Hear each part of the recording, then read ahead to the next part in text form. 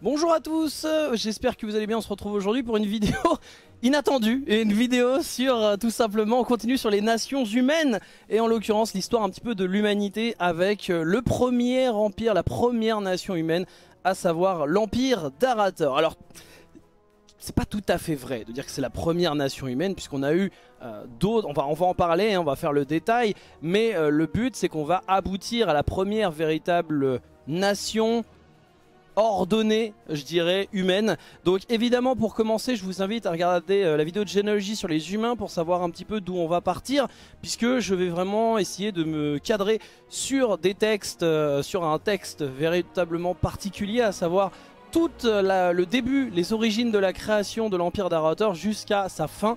Donc tout ce qui est le passage vricule, tout ça, je vais laisser de côté, ça c'est dans la généalogie humaine. Mais globalement, euh, les humains sont des descendants des vricules. Et euh, alors ça n'a pas toujours été ça dans le, dans lore mais euh, bon, c'est aujourd'hui ce qui est canonisé. Et donc la fondation de l'Empire d'Arator apparaît vers moins de 1800 ans avant la création, enfin avant l'ouverture de la Porte des Ténèbres. Je sais pour le moment les chronologies de Warcraft qu'on a pu faire avec Evanessor, qui m'a beaucoup aidé aussi pour cette vidéo, je vous laisse imaginer. Euh, eh bien, nous avions, euh, nous avons fait que la chronologie récente, c'est-à-dire depuis l'ouverture de la Porte des Ténèbres, euh, on en fera probablement d'autres, une sur l'histoire ancienne et une peut-être un petit peu plus sur les événements entre moins 10 000 et 0. on verra, on verra ça avec le temps. Dans tous les cas, commençons euh, par les zones de répartition humaines, hein, les descendants des euh, vricules, des euh, colons vricules qui du coup eh bien, forment l'humanité. donc comme je l'ai dit, vidéo de généalogie sur les humains. Globalement, voilà, vous avez une carte relative sur les périodes, enfin sur les, zones de répartition humaine à la période de moins de 1800 ans. Donc en bleu vous avez les humains, en vert les trolls des forêts, en jaune les hauts elfes de Keltalas. Et donc évidemment, alors l'intégralité quasiment du continent est euh, contrôlée par des trolls des forêts. Alors qu'on soit clair, c'est pour ça que j'ai évoqué le mot relatif, c'est parce que bah c'est des fois il y a un petit peu de, on va pas se mentir, dans la, dans la zone bleue il peut y avoir des trolls des forêts. C'est juste que moins nombreux que les humains. Globalement c'est ça. Pour ce qui est de, de c'est une grande inconnue. Pour le coup c'est Chronicle, un chronique qui ne met rien à Gilneas il n'y a pas de vie.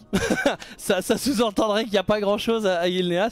On sait pas pourquoi, on sait pas pourquoi, donc euh, on s'accorde sur cette source-là. Mais donc, nous avons donc les humains qui sont globalement dans les clairières de Tirisfall euh, jusqu'à Alterac, ça c'est à peu près voilà l'emplacement des humains. Et les humains, mais bien quels sont, euh, quel est leur mode de vie, quelles sont leurs particularités, quelles sont leurs cultures? Pour le coup, eh bien, on parle d'humains On parle d'une période qui se situerait presque, comme j'ai envie de dire, à l'âge de bronze. L'âge de bronze du côté euh, de l'humanité. Donc on est sur la sortie... sur le début de l'Antiquité, on va dire, mais aussi sur la fin de l'Antiquité, début Moyen-Âge, en termes de, en termes de construction. C'est vrai que là-dessus, Blizzard a un peu... Euh, un peu euh, fait un tout droit sans vraiment réfléchir euh, de manière très sérieuse. Donc d'un côté il y a des mythes qui font très euh, on est encore au paléolithique et de l'autre donc un peu côté homme des cavernes chasse, pêche, cueillette et de l'autre on a des éléments qui nous amènent vers du haut moyen âge donc bah, le début du moyen âge globalement. Donc en termes d'habitation et de développement humain, à ce moment-là, les humains vivent en tribus assez éparses, euh, qui ont un mode de vie soit sédentaire, ou en tout cas nomade ou semi-nomade, donc semi-sédentaire, même si c'est plus semi-nomade, avec des constructions en bois ou en peau qui vont très rapidement eh bien, euh, pouvoir, euh, en cas de pépin, en cas d'invasion, en cas d'attaque, eh bien, ils vont pouvoir repartir assez vite et reconstruire plus, plus loin, là où ce sera plus sécurisé. Donc ils vivent de chasse, de cueillette, de pêche comme je l'évoquais, euh, que ce soit en forme semi-nomade ou nomade. Et, euh, mais il y a aussi bien sûr de l'agriculture, donc euh, ça c'est déjà quelque chose qui va être évoqué, de l'agriculture à ce moment-là. pour ce qui est des tribus, eh bien les tribus sont relativement dispatchés et donc nous avons des petits roitelets, hein, des, petits dirigeants de tribus, des chefs de tribus qui peuvent prendre le titre de roi, même si ça reste des roitelets hein, dans les faits, des, vraiment des petits, des petits bouts, des petites tribus, euh, qui vont, euh, ou alors des regroupements de petites tribus, donc qui vont former des tribus plus grandes. Euh, donc voilà, grosse rivalité entre les différentes tribus, et il y en a un nombre je dirais pas incalculable, mais il y en a énormément. Énormément, énormément de tribus. Faut imaginer qu'il y a plein de petites communautés comme ça, euh, éparses sur la zone euh, de regroupement que je vous ai montré tout à l'heure sur la carte. Et en l'occurrence, eh les conflits entre humains euh, sont très fréquents que ce soit pour des terrains de chasse, des territoires, des zones, des zones plus fertiles bien entendu, des rixes entre familles, des rivalités entre tribus, hein, puisque je vous laisse imaginer avec les conflits, eh bien euh, la haine, la vengeance, etc. qui va pouvoir... Qui va pouvoir, on va pouvoir semer toutes ces graines de la discorde un peu partout. Et donc tout est prétexte à des luttes fraternelles, des luttes perpétuelles. Ce qui fait que euh, le plus grand adversaire de l'humanité quand on voit la carte on pourrait se dire c'est les trolls des forêts. Et eh bien même pas. Et pourtant il y a de l'opposition, il y, a des, menaces sur place. Parce que là on voit trolls, elfes, humains. Mais faut pas oublier qu'à cette époque là il y a aussi des gnolls, il y a aussi des kobolds, euh, des élémentaires, des dragons, etc. Enfin, il y a plein de bestioles. Euh, bon, faut juste vous rappeler qu'il n'y a pas d'ogre ni d'orque à ce moment-là. Mais euh, en l'occurrence, bah, il y a beaucoup de menaces, et pourtant, la menace principale pour l'humanité à cette époque, c'est elle-même. Même si derrière, il y a les trolls des forêts, la menace première, c'est les humains qui s'entretuent, qui s'entre-déchirent en permanence et euh, sachant que ça passe par le comportement des chefs de tribu qui entre eux sont extrêmement sanguinaires, n'épargnant pas les vaincus, ne voyant pas l'intérêt d'ailleurs d'épargner vraiment les vaincus. Alors ça veut pas dire qu'ils sont forcément tués, ça veut dire aussi qu'ils peuvent terminer, enfin que les vaincus terminent soit en esclaves, soit dans les meilleurs des cas en serf, en serf donc euh, tout simplement le fait d'être payé mais pour faire les tâches les plus ingrates et généralement le salaire est pas dingue. Donc la compétition est extrêmement féroce, les faibles sont rarement épargnés et il y a cette espèce de crainte de l'autre. Donc c'est pour ça que quand un chef de tribu gagne, bah, généralement il fait en sorte que la tribu adverse ne puisse pas s'en remettre, ne puisse pas se relever pour devenir, euh, pour euh, on va dire, pour nourrir la future menace. Donc c'est pour ça qu'il y a vraiment une grosse rivalité et une grosse concurrence entre les différentes tribus et que généralement quand un conflit euh, explose, eh bien le vaincu va prendre vraiment très cher, va avoir un bilan extrêmement lourd, que ce soit en mort ou en esclave. Sachant que ça va continuer bien entendu avec, euh, bah, comme je l'évoquais, les trolls des forêts qui vont menacer un petit peu sur les, euh, côtés puisque les humains, euh, comme je l'évoquais, sont leur propre enfin sont leur propre menace principale, mais le partage de l'environnement avec les gnolls, les kobolds ou les trolls des forêts fait que l'humanité est bien dans une situation compliquée. C'est pas du tout les, pas du tout le, sommet de la chaîne alimentaire, j'ai envie de dire, mais c'est pas vraiment alimentaire ici. Remarque un petit peu, puisque bah il y a forcément de la compétition autour du gibier, autour, euh, autour de, de, ressources. Donc, en vrai, peut-être que le terme est pas si, euh, pas si faux.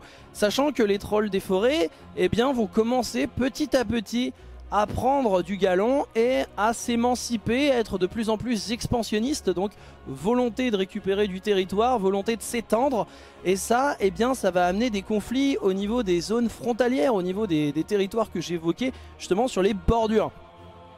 Et ça, c'est assez important puisque euh, les trolls, en devenant de plus en plus agressifs, même si les trolls des forêts ont toujours été assez agressifs vis-à-vis de l'humanité, eh bien, les conflits montent en termes de nombre, c'est de plus en plus fréquent. Et donc, eh bien, euh, là, quelque chose change.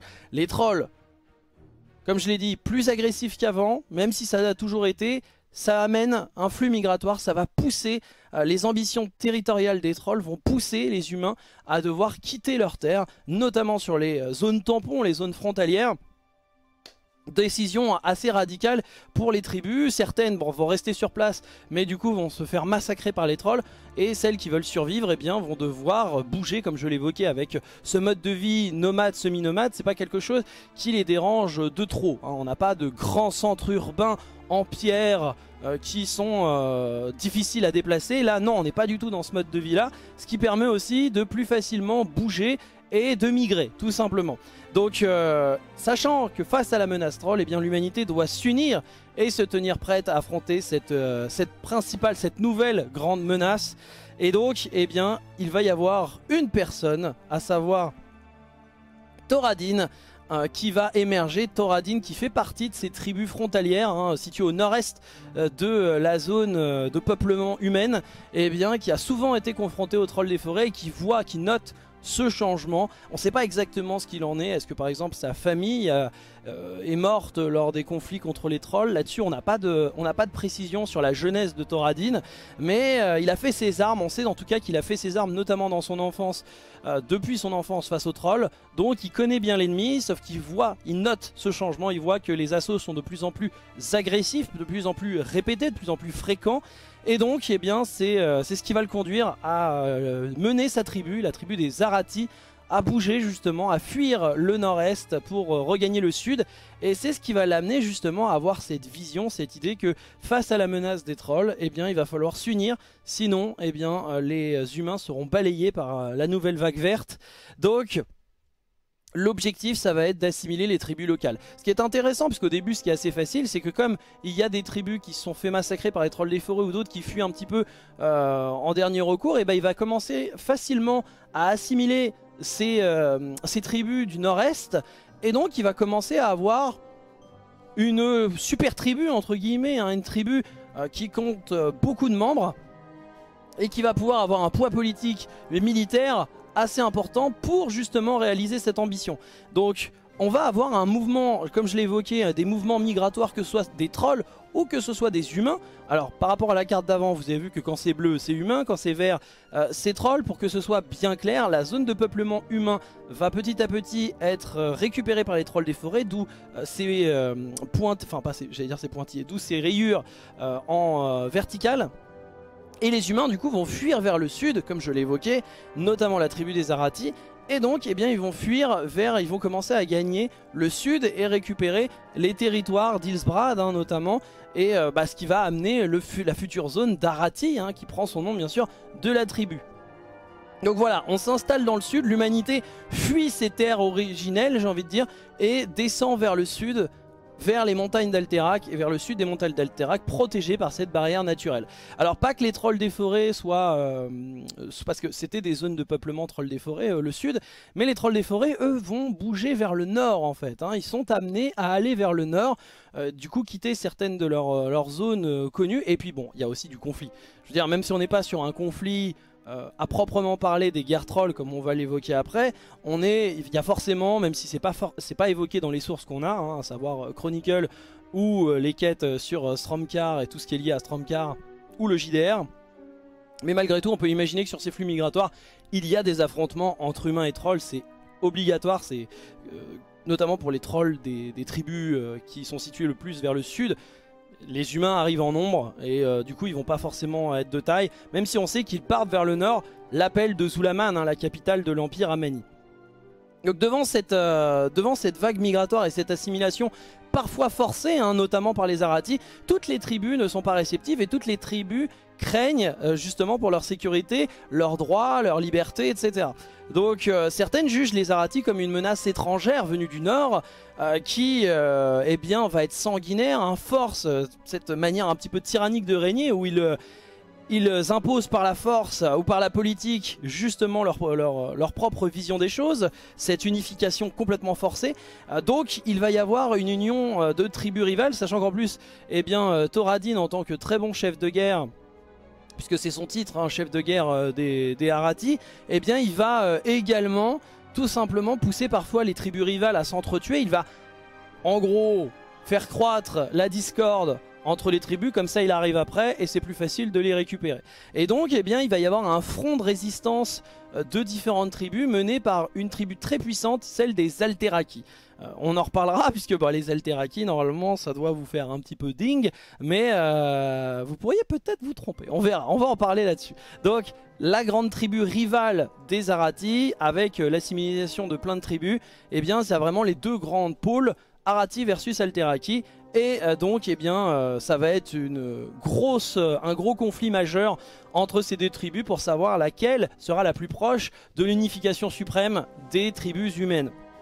Donc d'un côté les, Arati venus du nord, de l'autre les Alteraki qui à l'époque étaient au sud et maintenant sont le plus au nord hein, euh, des euh, humains. Et plusieurs conflits sanglants vont éclater entre les, deux, j'allais dire les deux tribus, plutôt les deux confédérations de tribus puisque les Arati ont, ont ingéré, si on peut le dire, les autres tribus du nord alors que les Alteraki eux forment un blocus de tribus. Donc c'est presque des confédérations entre guillemets. Et au final, eh bien, euh, Thoradin, devant ces conflits sanglants, euh, voit, juge du coup, bien sûr, la force et la qualité de la tribu Alteraki, mais il ne cherche pas à prolonger le bain de sang. Son objectif final, c'est quand même l'unification des tribus humaines pour pouvoir résister à la pression démographique et à la pression militaire des trolls. Donc son objectif pour épargner le maximum de vie, ça va être de, convenir d'un duel euh, façon ancienne tradition, hein, façon euh, old school, avec euh, le chef des Alteraki, à savoir le géant Ignaius Trollbane. Ignaius qui est tout simplement du coup le grand dirigeant des Alteraki et qui voilà, est considéré comme... à côté de lui, Thoradin a l'air d'un nain si vous me, pardonnez l'expression. et donc, eh bien, euh, au final, Ignaius va accepter le duel.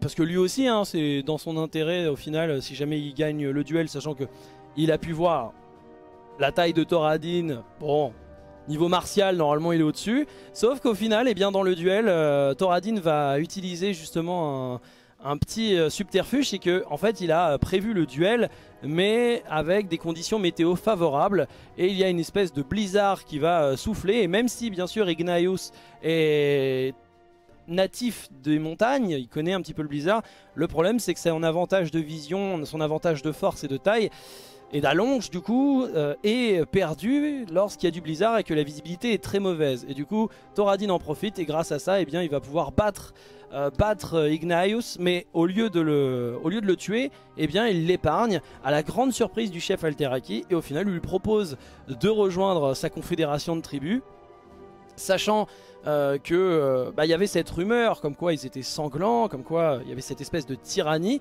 On a l'habitude, comme je le disais, des chefs de tribus très vindicatifs, et donc eh bien, grande surprise, sachant qu'au final, eh les chefs de tribus vaincus rejoignent la tribu Arati, mais en plus gardent leur tradition et aussi ont accès à des statuts privilégiés.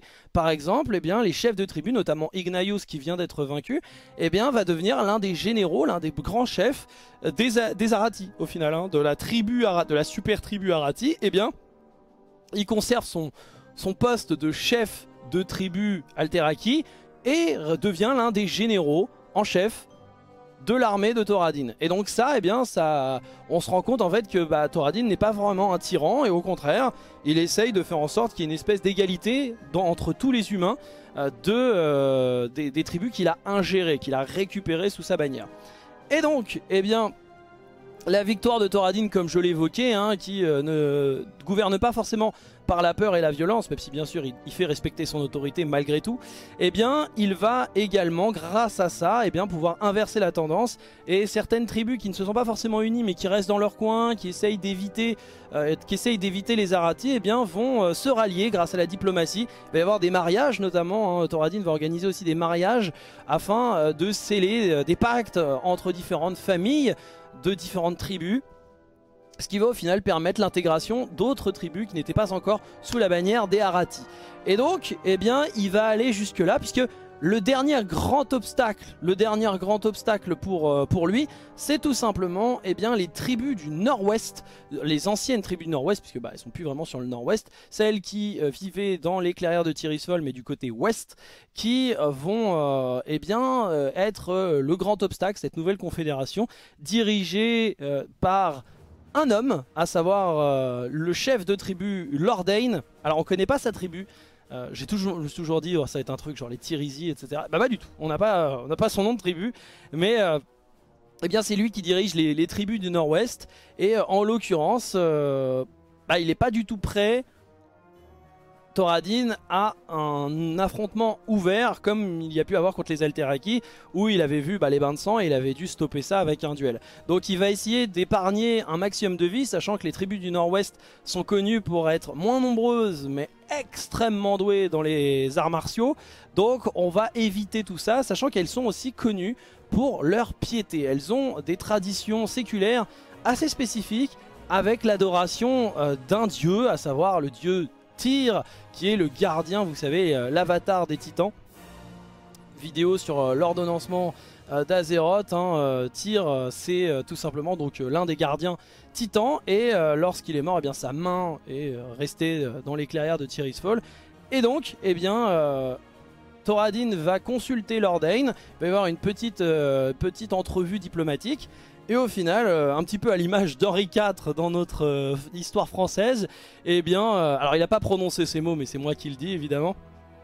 Sa couronne vaut bien une messe, et en l'occurrence, eh bien, il va se convertir à la foi à la religion de, de Lordain afin justement eh bien, de les recruter sous sa bannière, ce qui va fonctionner. Lordain, en voyant justement ce chef de tribu prêt à prendre sa foi, eh bien voit euh, et en plus la discussion a montré que c'était pas un idiot et les projets qu'il avait pour euh, l'humanité et du coup eh bien Lordain va accepter de rejoindre avec sa confédération les, euh, les Arati, ce qui fait que c'était la dernière grande étape. Ça y est, Thoradin a uni globalement. Alors on peut imaginer qu'il y a des exceptions bien entendu, mais de manière générale, ça y est, Thoradin a uni l'humanité sous une seule bannière, à savoir l'Empire d'Arator. On parle bien de l'Empire d'Arator, même si des fois euh, on, peut voir la mention de Royaume d'Arator ou l'Empire de Strom ou Royaume de Strom.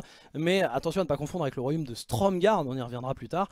Donc l'Empire d'Arator qui euh, eh émerge avec tous les humains unis, hein, comme on le voit Lordain à gauche, euh, Thoradin au milieu et Ignaius à droite. Alors c'est pas euh, des vrais euh, artworks. Hein. J'ai récupéré beaucoup d'images différentes. Euh, à vous de trouver bien sûr de quel jeu.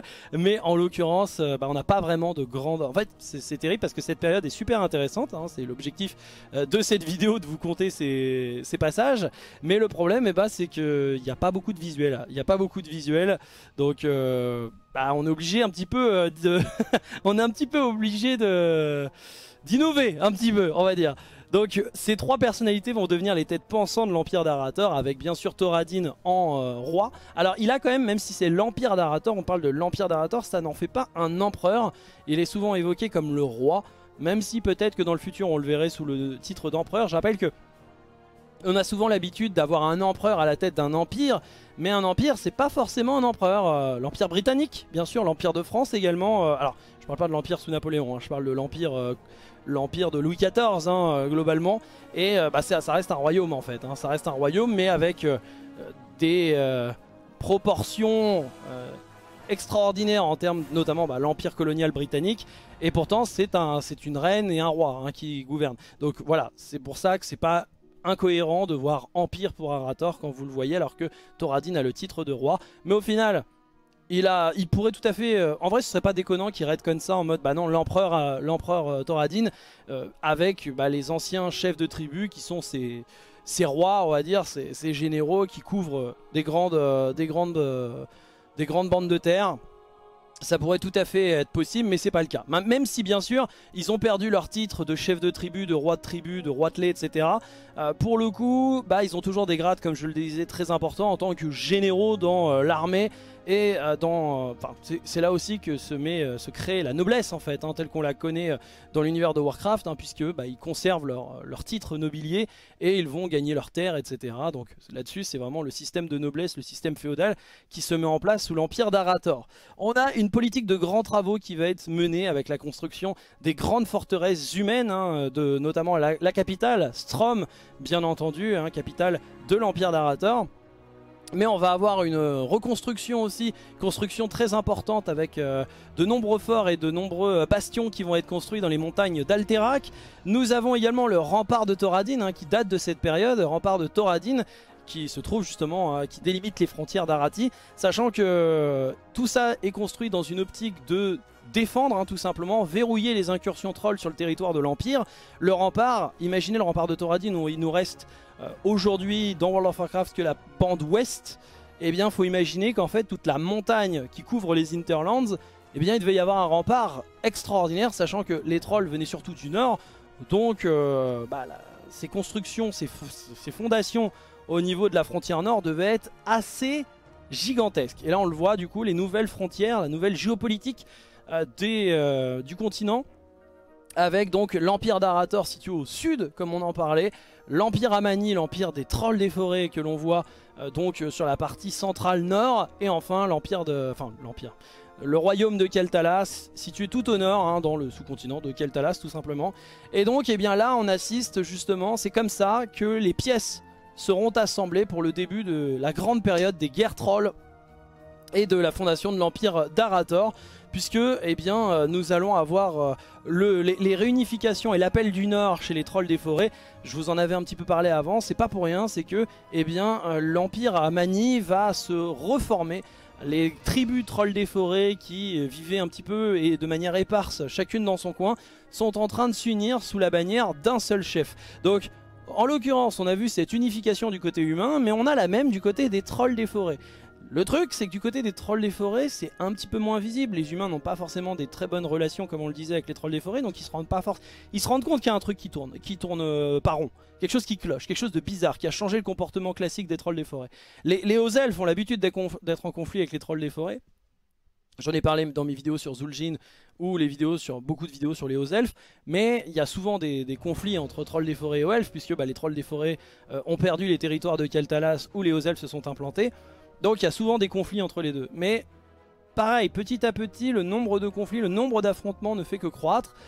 Et euh, bah, les trolls, les forêts, ils sont pas très contents quoi. Hein. Euh, ils s'unissent également et leur optique, c'est peut-être de chasser les hauts elfes hein, qui occupent leurs anciens territoires. Et justement, je parlais de l'union des tribus sous la bannière d'un chef de guerre troll Amani, hein, chef de guerre troll des forêts. Eh bien, c'est l'un des plus grands chefs de guerre euh, troll de toute, toute tribu confondue d'ailleurs de l'histoire troll, à savoir Jinta. Jinta qui, euh, il y a un monument à son, effigie, hein, Jinta lore qui est toujours, toujours consultable dans les Interlands euh, sur World of Warcraft. Jinta qui va unifier les tribus sous la même bannière et du coup, eh bien, il va vouloir, son optique c'est de restaurer l'Empire Amani avec son ancienne gloire et son ancienne ambition, à savoir diriger les territoires du Nord, restaurer la grandeur euh, des Amani, des trolls des forêts, euh, depuis la capitale Zulaman. Et pour ça, eh il veut récupérer les territoires, bien sûr, fédérer, euh, fédérer toutes les tribus trolls dans l'optique de la reconquête, hein, la reconquista tout simplement de Keltalas, récupérer les territoires volés par les hauts elfes et éventuellement derrière, éventuellement, hein, on fait ça par étapes, Ensuite, eh bien, chasser les humains euh, du euh, nord. Le nord appartient aux trolls des forêts. Globalement, c'est ça euh, l'optique. Et au final, eh ben, Jinta arrive, arrive à être très très bon à ce niveau-là. Et ça, imaginez qu'à l'époque, c'est la première puissance hein, du nord. Donc, quand il commence à unifier, le problème, c'est que les trolls des forêts, en fait, c'était la première puissance, mais ils n'étaient pas unis. Donc, c'était facile de prendre l'avantage, notamment pour les hauts elfes, beaucoup moins nombreux. Et même les humains, euh, même si les humains aussi étaient, euh, étaient désunis, il y avait cette zone de concentration démographique importante des humains, ce qui faisait que les trolls étaient en sous-nombre euh, sur les, bandes frontalières, mais pour le coup, sur l'ensemble du, continent, bah, les trolls des forêts sont largement supérieurs en nombre. Et au final, et en plus, bah, martialement, c'est vrai que les trolls des forêts sont très costauds et ont une expérience militaire importante, sans compter, bah, bien sûr, leur Loa et leur puissance sacrée. Donc au final, eh bien c'est une véritable menace pour les humains. Et donc, eh bien, les humains vont, euh, comme on l'a dit, un petit peu fortifier notamment les montagnes d'Alterac, euh, qui furent toujours pour l'humanité un rempart, hein, tout simplement, contre leurs différentes euh, menaces, même si bien sûr des menaces aussi habitent les montagnes d'Alterac, hein, notamment des trolls des glaces, qu'on n'a pas vu là, mais il y a des trolls des glaces dans les montagnes d'Alterac, des, bien sûr des kobolds, des, des gnolls, etc., etc. Mais au final, par rapport à des grandes armées, c'est vrai que bah, ça apparaît comme des bannières naturelles, hein, les montagnes d'Alterac. Donc il fut décidé euh, par Arator et euh, Ignius, terre natale, hein, je rappelle pour Ignius, de renforcer cette barrière naturelle avec la construction de plusieurs outils défensifs, mais ça va plus loin que ça, parce que il y a les garnisons, bien entendu, il y a la forteresse d'Alterac, hein, a, qui est la capitale régionale, mais on a aussi une volonté de mettre, euh, de remplir vraiment les garnisons de troupes, de troupes, de troupes et de faire une formation spécifique. Puisque comme on le voit en fait sur la carte, ce qui est très intéressant, c'est que, alors c'est pas la carte, voilà la carte, ce qui est la forteresse d'Alterac que vous voyez est assez à, une place géostratégique très intéressante puisque comme vous le voyez elle est vraiment bah déjà c'est à la frontière nord de l'Empire d'Arator, mais surtout elle se trouve au cœur de l'Empire Amani en fait quasiment. Hein. Donc des mouvements de troupes depuis la forteresse d'Alterac pourraient être très intéressantes. Et c'est la défense parfaite puisque il y, a les montagnes d'Alterac qui séparent l'Empire Amani. Donc on a cette barrière naturelle de défense qui est extraordinaire. Et en plus, eh bien, on peut frapper très rapidement le cœur. Alors certes, Zulaman est loin, mais c'est pas grave, on peut complètement diviser l'Empire Amani. Et ça, c'est la grande, euh, la grande force, justement, de cette position. Et Thoradin, qui a de l'expérience militaire, se rend compte de la force et de la qualité stratégique qu'offrent les montagnes d'Alterac. Sachant que pendant cette construction, on veut quand même garder ses plans secrets du côté de, Thoradin. Et donc, eh bien, il va charger Ignaius, qui est dans ses territoires locaux, et Lordain, de euh, s'occuper de la position nord, de récolter de nombreuses informations sur les tribus trolls, et notamment de massacrer les incursions trolls euh, sur le territoire de l'Empire d'Arator, ce qui va être fait. Hein, la plupart des trolls euh, qui vont, eh bien... chahuter les, territoires, les, frontières, vont se faire massacrer. Et en plus de ça, eh beaucoup d'éclaireurs humains vont, justement se rendre compte et euh, rendre, euh, rendre compte en faisant leur rapport que effectivement il y a un afflux de trolls vers le nord-est, donc quelque chose se prépare euh, manifestement. Plus on apprend d'informations là-dessus, plus ça semble clair, les trolls des forêts sont prêts à passer à l'action. Et donc, ne sachant pas leur objectif, parce que nous on le sait, mais eux ne savent pas forcément à ce moment-là, eh bien il y a vraiment cette volonté ultra défensive de barricader toutes les frontières et de se préparer à l'attaque. On a vraiment cette démarche très défensive de la part des humains.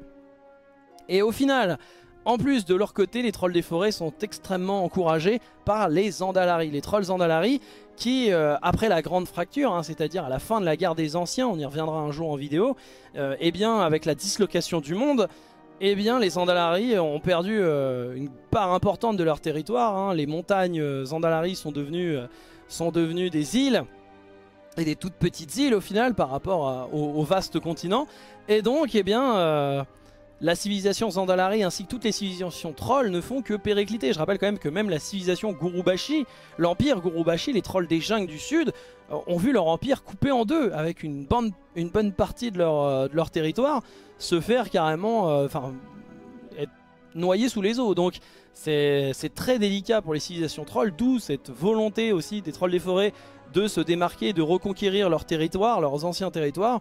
Et au final, bah, c'est encouragé par les Andalari qui aimeraient euh, voir justement la tribu forte des Amani, des trolls des forêts, très, euh, très ambitieuse et aussi très importante d'un point de vue diplomatique, eh bien, au niveau des trolls, hein, de la race troll, si jamais eh bien, les Amani arrivent à réussir leur retour en force, ça pourrait être l'étincelle qui embraserait la race troll à reconquérir ses anciens bastions, ses anciens territoires, et surtout appeler, être appelé à, à l'ancien âge d'or des trolls qui maintenant malheureusement à ce moment-là est très loin derrière eux. Donc n'oublions pas aussi que l'Empire Elfe de la Nuit les avait chassés, hein. l'Empire Elfe de la Nuit avait euh, disloqué et fracassé la plupart des empires trolls. Donc c'est le moment, c'est le moment pour les trolls, c'est le retour de se venger, justement de revenir en force.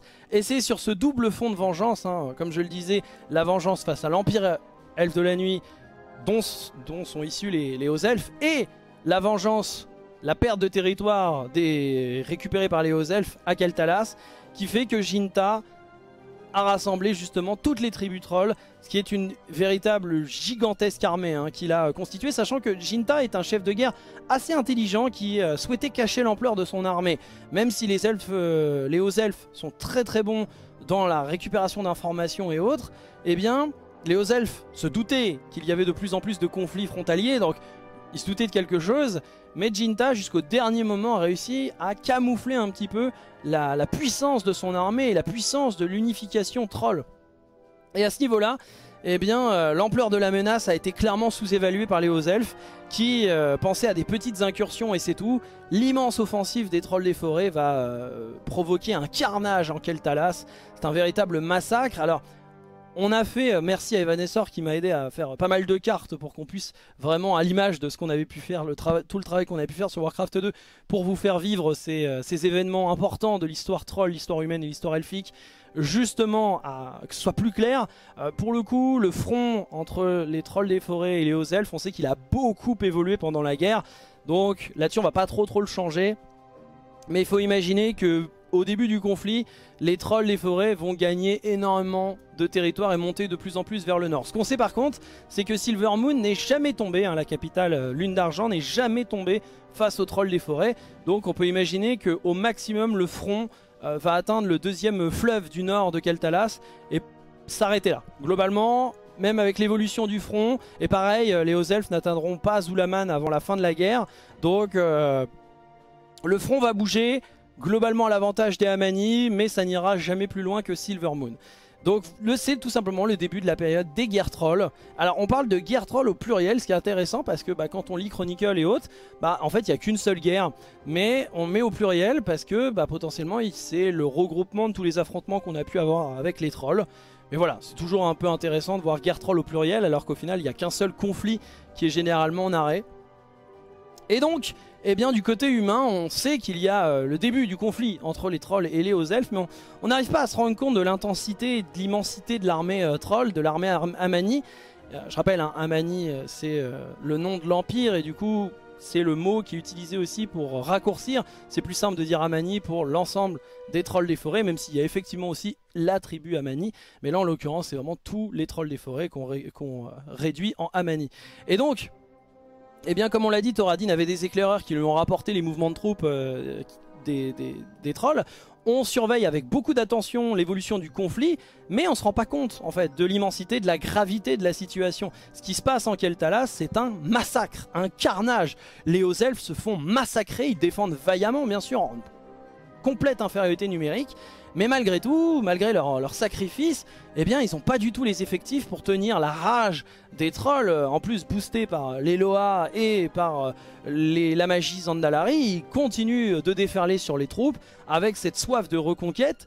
Du coup, eh bien on se rend pas compte des atrocités, des massacres euh, perpétrés par les Amani et donc eh bien on garde cette politique défensive, hein, ne voulant pas gaspiller les vies humaines, ne voulant pas intervenir. L'Empire d'Arator reste défensif. Mais il va changer d'avis lorsque des ambassadeurs envoyés par le roi euh, de Keltalas, à savoir Anasterian, Anasterian, qui va eh bien, envoyer des ambassadeurs elfes à la cour du, roi euh, Thoradin, à la cour de l'Empire d'Arator, pour supplier une intervention humaine. Au départ, Thoradin est plutôt récalcitrant, mais au final, eh bien, euh, les, ambassadeurs elfes vont jouer leur rôle et ne vont pas ménager le roi et sa cour au niveau des événements, de la narration des événements euh, du conflit et du carnage qui est perpétré par les trolls des forêts, en évoquant bien sûr que si l'humanité ne fait rien, ce seront les prochains sur la liste. Donc, eh ben, c'est compliqué. Arator euh, a bien conscience. C'est pour ça qu'il a, formé l'empire, qu'il a fondé l'empire d'Arator. Il sait que c'était, avant tout pour se défendre euh, de, des invasions trolls. Il a connu toute sa jeunesse du conflit contre les trolls des forêts sur les territoires humains. Donc, euh, bah, il, en a bien conscience. Et maintenant qu'il comprend la gravité de la situation, qu'il comprend les enjeux, qu'il comprend les massacres perpétrés par les trolls des forêts, hein, qu'en profite, hein, bien entendu. Euh, notamment, eh on, découvre euh, de nombreux civils tués dans des cavernes, etc. Les humains, et de très très loin de Keltalas en plus. Hein. On, récupère les corps, on s'amuse un peu avec, et on va, on va essayer aussi de galvaniser les civils et toutes les populations trolls des forêts, même quand elles sont loin du front. Donc, eh bien, Thoradin va négocier, négocier cette alliance avec les hauts elfes. déjà, bien sûr, bah, ils vont promettre une assistance, mais en plus de ça, eh bien Thoradin va négocier avec les hauts elfes le fait d'avoir une formation magique pour 100 humains qui vont devenir les 100 premiers mages humains ce qui va sceller l'union des elfes, des hauts elfes et des humains. C'est le ciment euh, d'Arator, hein, justement, c'était euh, vraiment l'union des humains face à l'invasion troll. Donc ça y est, c'est parti, on va avoir la contre-offensive humaine maintenant que tout est négocié on va désengorger le front du Nord euh, avec une frappe chirurgicale venue de cet endroit stratégique euh, que sont les, territoires d'Alterac. Puisque pour désengorger le front Nord, eh bien, les humains vont frapper le centre de l'Empire Amani et dévaster absolument tout sur son passage. On va constituer une véritable, euh, une, grande armée humaine. Hein, la plus grande armée humaine qui ait jamais vu le jour à ce moment-là, hein, bien sûr, à cette époque, puisque c'est, on a les nombres, on a les nombres en plus, pour une fois c'est plutôt cool, 20 000 hommes d'assemblée, ce qui est énorme, hein, on imagine pour la, démographie euh, de, l'époque, 20 000 hommes, armée de 20 000 hommes qui est la première à partir, parce que faut imaginer qu'il y en a d'autres en formation, mais la première grande armée, c'est 20 000 hommes. Et euh, en l'occurrence, ce qui est intéressant en partant d'Alterac, c'est qu'on peut mener des offensives et ensuite se replier sur Alterac si jamais il y a des problèmes. Après, sur ce début du conflit, pas de problème, on peut rentrer, euh, on rentre comme dans du beurre. C'est assez facile pour les humains de, pénétrer le territoire Amani qui est pas du tout surveillé sur la, partie sud. Hein. Les, les Amani qui envoyé le gros des troupes pour fracasser les hauts elfes au nord. Donc ah bah, ils sont complètement pris au dépourvu et ça marche très très bien. la frappe en profondeur des humains va faire payer un lourd tribut chez les trolls puisqu'ils sont pris complètement euh, par surprise et euh, au final eh bien, cette armée de 20 000 hommes on sait aussi comment elle est constituée c'est à dire que le gros des troupes euh, va être dirigé par le roi Thoradin lui-même qui mène du coup l'armée de l'Empire et en même temps, eh nous avons euh, l'avant-garde qui sera constituée de la petite armée euh, de Lordain, du général Lordain, et l'autre euh, qui sera menée par le général Ignius. Donc les deux qui vont gérer l'avant-garde pendant que la grande armée de l'Empire d'Arator menée par Doradin avance derrière en fait. Et ce qui est intéressant, c'est que ça permet de paver un petit peu le chemin pour la grande armée, et surtout, eh bien on va avoir une offensive que je vais évoquer juste après qui va être très intelligente et on sent que Thoradin est vraiment un très très bon stratège et que eh bien, toute, sa, toute son existence a été euh, construite sur des conflits avec les trolls des forêts donc il est assez expert sur le sujet, il sait comment les désorganiser, il sait comment les affronter et en plus eh bien, il se garde une botte secrète puisque les 100 mages qui ont été formés par les hauts elfes il va les garder en réserve. Il les garde à la forteresse euh, d'Alterac, il les garde en réserve, il ne veut, veut pas les envoyer trop tôt dans la bataille. D'abord, les soldats. Et en l'occurrence, eh bien, euh, l'objectif humain n'est pas du tout de conquérir le territoire troll. Pas pour le moment. L'objectif, c'est d'attirer l'attention des trolls des forêts vers le sud. L'objectif, on l'a dit avant, désengorger le front du nord. Donc, forcer l'attention de l'Empire Troll et diviser ses forces. Ce faisant, il va y avoir des chevauchés hein, globalement, donc des raids, des pillages, des massacres qui vont être perpétrés par les avant-gardes de Lordain et euh, Ignius qui vont eh bien aller de village en village troll, massacrer ses défenseurs, et euh, généralement les civils aussi, hein, bien sûr. On a tendance, malheureusement les sources qu'on a à notre disposition sont souvent euh, biaisées, puisqu'elles sont souvent humano-centrées, on va dire, hein, sur, que ce soit dans Chronicle, que ce soit dans...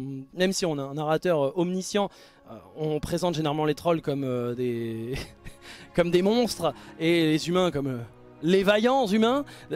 c'est pareil pour Enfin, toutes les sources qu'on a généralement sont plutôt côté humain, mais à ce moment-là, on peut imaginer que les trolls des forêts, les civils, ils passent un sale quart d'heure. Hein. Les enfants, les femmes, c'est du pareil au même, on les massacre. Et donc, eh bien, ces, ces, chevauchés vont très très bien fonctionner d'un point de vue militaire, même si bien sûr, on peut imaginer, euh, euh, tous les crimes qui, ont pu être commis à ce moment-là, surtout qu'il y a une véritable haine entre les humains et les trolls des forêts. Euh, je rappelle, les humains ont été chassés de leur territoire, etc. Donc on peut imaginer les règlements de compte et les exactions qui sont commises des deux côtés hein, d'ailleurs, hein, parce que les trolls des forêts, en termes d'exactions sur le, territoire aux elfes, c'est pas mal. Hein. Et donc, eh bien, ces chevauchés vont très très bien fonctionner et vont être couronnés de succès contre les trolls. Sauf que bon, on voulait attirer l'attention des trolls, et eh bien on l'a Ils sont extrêmement énervés les trolls des forêts, euh, le résultat ne se fait pas attendre, puisque Jinta est furieux et voit dans les humains une menace euh, présente, mais qui reste inférieure à celle des hauts elfes. Hein. Les hauts elfes, euh, même s'ils sont moins nombreux, sont des soldats d'élite entre leurs forestiers qui rivalisent avec ses meilleures troupes en termes d'embuscade. Et là on est sur les positions défensives des hauts elfes, donc c'est eux qui, sont pris dans les embuscades et aussi eh bien, euh, la magie des hauts elfes. C'est un adversaire redoutable et du coup eh Jinta se dit que l'humanité va être beaucoup plus facile à accueillir.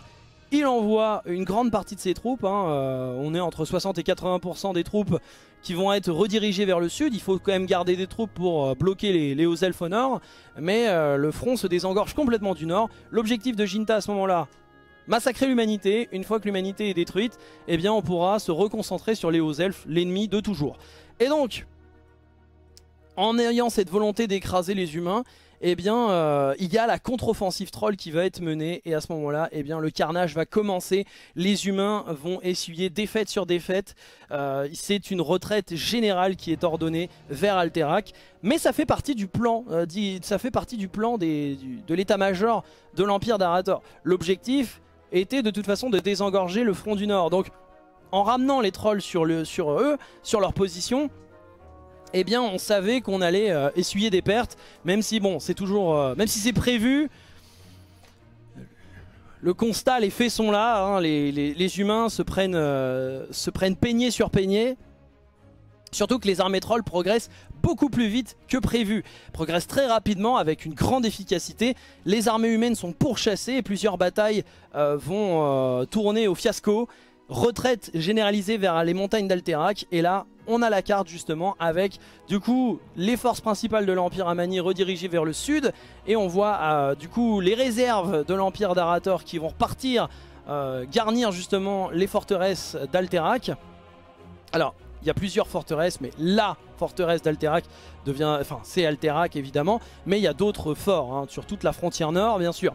Sachant que la petite flèche bleue que vous voyez bah, c'est l'armée principale qui est en, pleine retraite et bah, les flèches vertes évidemment l'Empire Amani. Et la flèche jaune, euh, c'est tout simplement eh bien, euh, le front de Keltalas. Même si on garde le front qui est toujours présent, hein, bien entendu, euh, les hauts elfes vont dépêcher des troupes notamment des troupes de forestiers qui vont harceler les lignes arrières de l'armée principale euh, Amani, de l'armée principale Troll des forêts, et vont également constituer euh, ce qu'on... Alors on ne sait pas exactement comment ils sont venus, parce que les forestiers, eux, il n'y a pas de problème, on sait qu'ils ont été harcelés, euh, les pérégrins ont été harcelés très loin de leur ligne, l'arrière des troupes Troll des forêts, mais on sait que les hauts elfes vont amener aussi des mages, et là pour le coup on ne sait pas exactement comment, par bateau, est-ce qu'ils étaient... ils sont passés par le sud vers l'Empire d'Arator, on ne sait pas trop, mais dans tous les cas, eh bien, il y a une, une armée de réserve aux elfes qui va rester en retrait vers le nord justement du territoire Amani. Et en l'occurrence, comme on le voit, eh bien, euh, on arrive tout simplement sur une bataille suprême qui avait déjà été prévue puisque euh, l'objectif de barricader les forteresses d'Alterac c'était aussi euh, de, de, servir de base de retrait bien entendu et de pouvoir contenir les trolls avec cette muraille naturelle que sont les montagnes d'Alterac. Et c'est sur cette, euh, sur cette prédisposition, sur ces déplacements stratégiques que va se jouer la bataille finale des guerres trolls, à savoir l'offensive, la contre-offensive troll qui va euh, s'empaler sur les positions euh, défensives humaines, sachant que juste avant, c'est quand même important de le, garder à l'esprit, il y a dans, les, dans les conflits de, de progression des armées Amani, des armées trolls des forêts, il va y avoir une bataille qu'on va appeler la bataille des 500, elle n'a pas de vrai nom mais c'est très calqué sur la bataille des 300. Donc euh, globalement, en fait, c'est euh, lors de la retraite généralisée, les humains eh vont perdre beaucoup de monde. Et pour éviter que l'armée euh, soit massacrée, il y a le général Lordain qui va réunir 500 troupes d'élite autour de lui et qui vont eh se sacrifier en engageant les trolls dans un petit périmètre afin de réduire l'importance du nombre des trolls des forêts et surtout eh se battre euh, jusqu'à la fin pour essayer de donner un maximum de temps à l'armée humaine, au gros de l'armée humaine qui se replie euh, sur euh, la forteresse d'Alterac afin de préparer justement la défense qui a été prévue depuis le début puisqu'il y avait les 100 mages qui étaient en réserve. Et c'était ça l'objectif euh, du, roi Thoradin et tout l'état-major avait prévu cette, euh, cette contre-offensive troll. Encore une fois, c'est juste que bah, on n'avait pas prévu l'intensité et la puissance des trolls des forêts, mais l'objectif était de les ramener, le plus gros nombre, et de préparer cette bataille finale conjointement avec euh, les forces elfes. Et donc, eh bien, pour verrouiller, pour que la stratégie fonctionne, le général Lordain, bras droit du, du roi, eh bien, va sacrifier sa vie ce qui formera aussi euh, l'héritage un petit peu chevaleresque hein, de la légende du général Lordain euh, qui sacrifia sa vie pour sauver l'humanité. Hein, globalement, c'est un petit peu, on en est là, on en est un petit peu, euh, on en est un petit peu là, puisque bah, pour l'humanité, c'est vrai que ça chauffait comme ça chauffait très très fort. Et au final, eh bien, Arator va pouvoir faire déchaîner la puissance de, l'humanité avec bah, déjà la supériorité stratégique de la position. Ils ont euh, les montagnes, ils ont les hauteurs là où les trolls doivent grimper. Même si les trolls eh bien, euh, s'empalent, ils ont le nombre. Du coup, ils peuvent, euh, ils peuvent mener des, grands raids et au final frapper les troupes humaines qui vont perdre quand même beaucoup de monde. Et au moment, au cœur de la bataille, parce que justement Thoradin encore une fois ne veut pas lancer ses mages trop tôt, même pendant cette bataille finale, on a conscience que ce sera la bataille finale. L'humanité sert de bouclier, les trolls s'empalent dessus, avec quand même des pertes. Les hauts elfes attaquent par euh, derrière avec leurs forestiers. Et au moment où on est vraiment, on sent que c'est le cœur de la bataille, eh bien c'est à ce moment-là que le signal va être donné et que les 100 mages humains aidés des mages ou elfes de l'arrière-garde et de l'avant-garde eh bien vont réaliser tous ensemble, vont unir leurs forces pour déchaîner les enfers, hein. lancer un sort unique qu'on appellera l'Armageddon ici parce que c'est... Honnêtement, c'est l'un des sorts les plus puissants qui ait jamais été lancé dans l'univers de Warcraft. L'union... Euh, alors on a, vu ce genre de, on a vu ce genre de magie lors de la guerre des anciens plus d'une fois. Avec l'union d'un collège de magie, hein, quasiment... Euh, voilà, euh, des foules de magiciens s'unir pour lancer des sorts, c'est pas tout, c'est pas très commun, c'est pas quelque chose qu'on voit tout le temps. Et euh, même si on en, a, vu plus d'une fois dans la guerre des anciens, celui-là est assez important. Donc je l'appelle comme ça, mais c'est juste que, enfin, faut imaginer l'ampleur du, du, sort, hein, la catastrophe énorme, un déchaînement de feu qui va, qui va être au milieu, au cœur de l'armée troll qui va massacrer une grande partie des trolls et notamment parce que au milieu euh, du sort c'est tout simplement l'état-major troll des forêts et il y a Jinta qui euh, bah, bye bye Jinta hein, euh, avec tout son état-major et notamment aussi les Andalari qui étaient à ses côtés ils vont se faire massacrer au cœur du cyclone de feu au cœur de, ce, de cette immense tornade de feu. Et eh bien les trolls vont se faire perdre leurs généraux perdre leur, leur seigneur leur chef et au final, eh bien, donc perdre le cœur de la stratégie des trolls des forêts, mais en plus, bah, euh, je peux dire quand vous êtes euh, déjà la plupart meurent sur le sort et sur les, conséquences du sort, hein, parce que c'est une pluie de feu qui leur tombe dessus. Et euh, bah, pour si jamais tu es survivant, je pense qu'on peut comprendre que moralement ce soit pas la joie. Donc bah, les trolls des forêts vont se disperser et vont se faire massacrer. Au final, euh, les humains et les elfes, alors on dit que c'est la bataille finale, mais il y a de grandes chances qu'il y ait eu d'autres batailles, notamment la prise, ou en tout cas, euh, on a fait en sorte que les trolls des forêts ne puissent plus être une menace à ce moment-là, même si cette bataille finale a fait gagner instantanément l'humanité et les hauts elfes dans euh, ces guerres trolls. Pour les trolls, c'est une défaite cuisante qui va faire reculer les ambitions trolls sur des millénaires puisque euh, l'Empire Amani périclite et ce sera la fin de ce qu'on appelle l'Empire Amani, même si c'était déjà terminé, euh, là c'est vraiment, il en est, fini de chez fini pour l'Empire Amani, euh, comme on l'a dit, qui perd du terrain au profit des elfes et des humains, ça... Ça veut pas dire que les, les, les, trolls des forêts ne sont plus présents sur le continent de ce qu'on appellera Lordaeron. Donc le continent du Nord. Puisque, globalement, les trolls des forêts sont toujours présents un peu partout. C'est juste parce qu'on a tendance à se dire peut-être avec World of Warcraft que les trolls des forêts c'est vraiment Zulaman et autour de Zulaman et c'est tout. C'est pas le cas. Euh, rappelez-vous dans Warcraft 3 vous, vous, croisez des trolls des forêts un peu partout dans Lordaeron. C'est juste que globalement au niveau démographique effectivement la plus grande concentration de trolls des forêts ça va être vers Zulaman. Ça veut pas dire qu'il n'y en a pas ailleurs sur le territoire. Et... Euh, ils sont toujours présents mais totalement désunis, les tribus vivent un petit peu chacune dans leur coin, il y a des liens qui sont partagés mais pas d'union véritable. Et faudra attendre quasiment 3000 ans euh, pour un nouvel âge avec euh, eh l'émergence d'un nouveau chef de guerre à savoir Zul'jin qui euh, unifiera les tribus lors des événements de Warcraft 2 que j'ai déjà narré en vidéo bien entendu.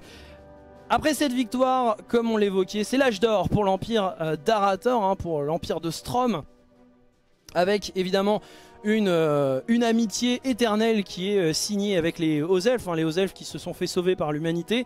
Donc euh, il y aura toujours une amitié éternelle et une réponse, une réponse obligatoire en cas de grande détresse de l'humanité. Eh bien, les hauts elfes devront répondre à l'appel de la lignée royale des Arati, donc la lignée de d'Arator, hein, la lignée tout simplement de Thoradin.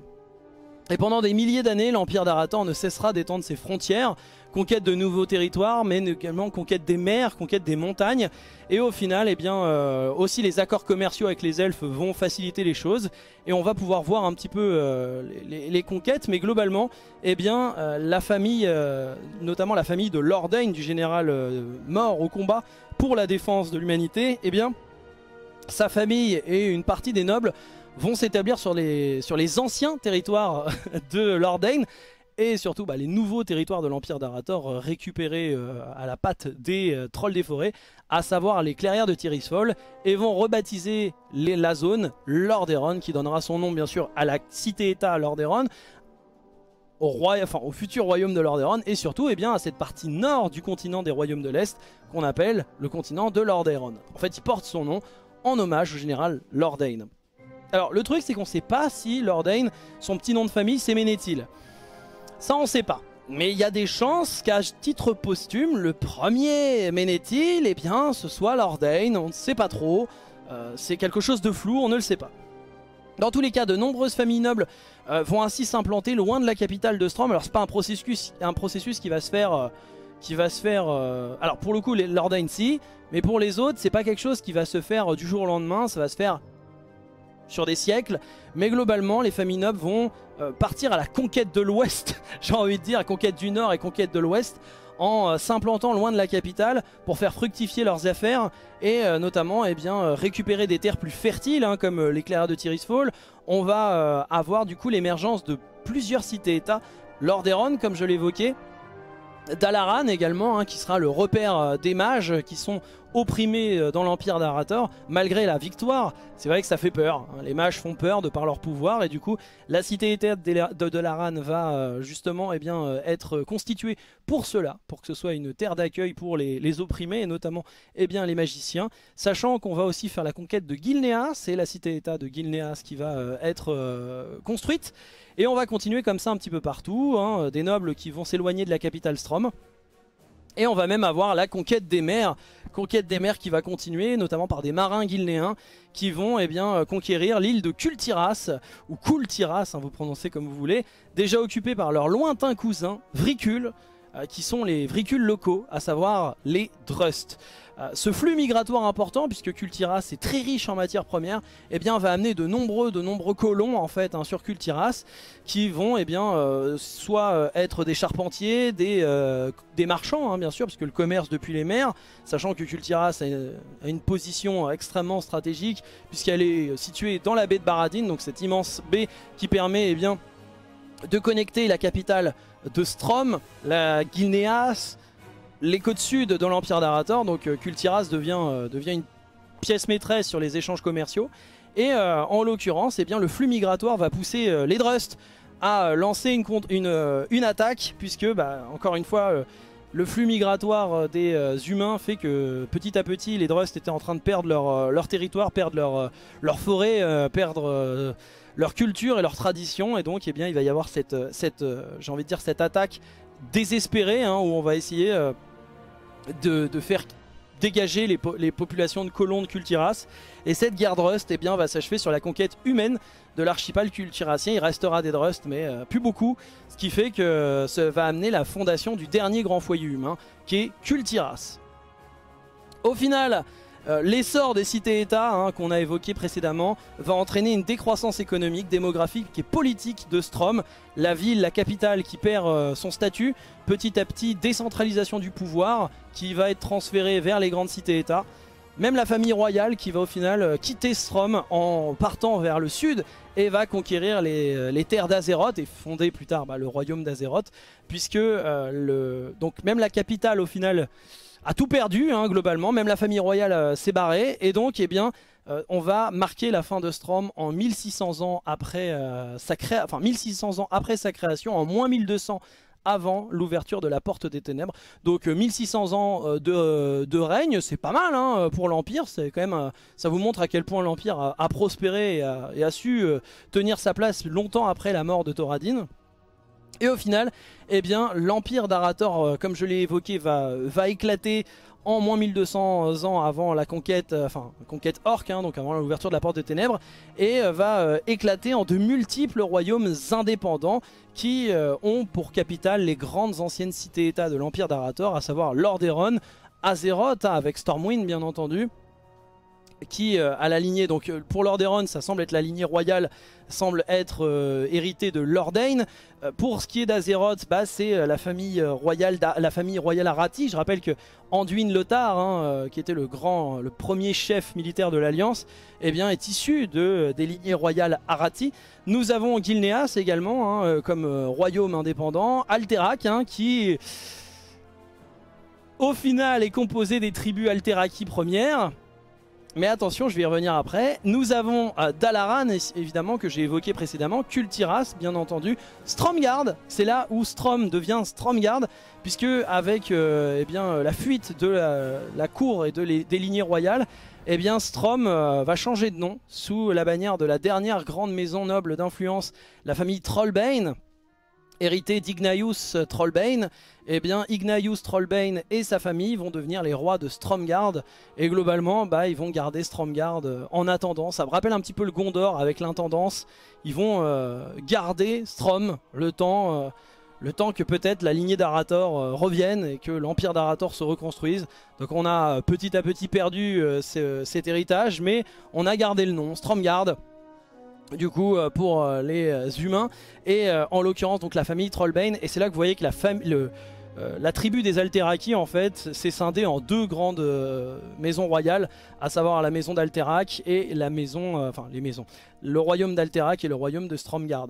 Et bien plus tard lors de la troisième guerre nous aurons le royaume de Terramort mais à ce moment là eh bien l'éclatement de l'empire d'Arator se fait va créer les sept grands royaumes humains Terramort ne faisant pas partie de cela. Hein, généalogie sur les humains. Voilà pour cette euh, longue vidéo, mais j'espère que ça vous aura plu. Cette période est vraiment très intéressante. Euh, je mettrai les sources en description, mais globalement, bah, c'est du Chronicle, c'est du Chronique, mais surtout aussi beaucoup euh, de Légion avec du Stromkalar, notamment du Stromkar, Stromkalar. Euh, bah, après c'est Stromkar, parce que Stromkalar elle est pas dans les armes légendaires, mais on en parle aussi de Stromkalar dans des quêtes de Cataclysme. L'Ultimate Visual Guide, donc qui était l'ancêtre de Chronicle, qui date de Cataclysme. On avait déjà quelques quêtes aussi euh, sur Kata, comme j'ai évoqué, et notamment le JDR Warcraft, le tout premier JDR Warcraft qui parlait beaucoup de l'Empire d'Arator. Euh, et à l'époque, les humains ne descendaient pas des véhicules, c'était intéressant. Et donc globalement, voilà, j'espère que ça vous aura plu.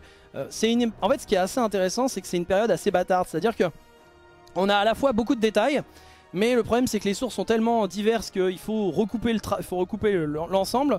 et ce qui m'a fait, prendre pas mal de temps, on va pas se mentir. Et euh, en plus de ça, donc c'est une période très riche, mais d'un autre côté, on a pas tant, on a, il y a des moments en fait, on a beaucoup de détails et d'autres on a rien du tout.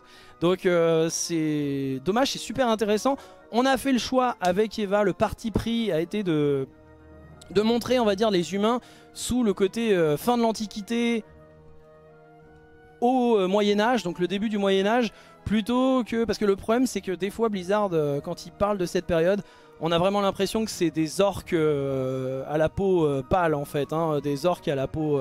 c'est vraiment l'idée des, humains sauvages, façon Néandertal et tout, alors que. Bah non, enfin, genre. là, c'est pas des vricules quoi, hein, on, est sur, on est sur un peu avancé, donc. On a préféré prendre un petit peu plutôt le côté antiquité au Moyen-Âge pour représenter les humains. Euh, mais ça, c'est un parti pris, bien entendu. En tout cas, j'espère que cette vidéo vous aura plu. Euh, et là, vous, allez vous dire, mais c'est bizarre que tu sortes ça maintenant. Eh bien, cette vidéo est amenée à préparer le terrain sur euh, potentiellement des vidéos sur les, les, différents royaumes. On a déjà fait une vidéo sur Gilneas, mais la prochaine vidéo de ce type sera sur Alterac, puisque, eh bien, je peux vous le dire en fin de vidéo pour les plus courageux qui seront restés jusqu'au bout, eh bien, le projet RP sera autour d'Alterac. Euh, plus de détails arrivent bientôt, évidemment, et du coup, eh il y a une vidéo sur Alterac qui arrive et qui vous aidera un petit peu pour le contexte. Voilà, j'espère que cette vidéo vous aura plu. C'est une période très importante de, euh, pour l'humanité, euh, période qui risque avec le temps euh, d'avoir davantage de détails et de richesses. Et honnêtement, ça serait très très cool d'en avoir parce que bah, c'est une période vraiment vraiment intéressante. Voilà, je vous fais plein de bisous, à bientôt pour une prochaine vidéo, à plus dans le Nexus Oui alors, euh, pour tous ceux qui m'emmerderaient sur la prononciation euh, d'Ignaius, eh ben, c'est compliqué, c'est du latin, on a re-regardé, on prononce pas, on dit pas Igné, et il faut tout prononcer, donc vous pensez à l'Aï. Ignaius, parce que le A, le E et le U doivent se prononcer. Donc euh, oui, j'ai l'air d'un con, mais c'est pas facile à prononcer. Et en vrai, vous prononcez comme vous voulez. Hein. Si vous voulez dire Ignaeus, vous le dites.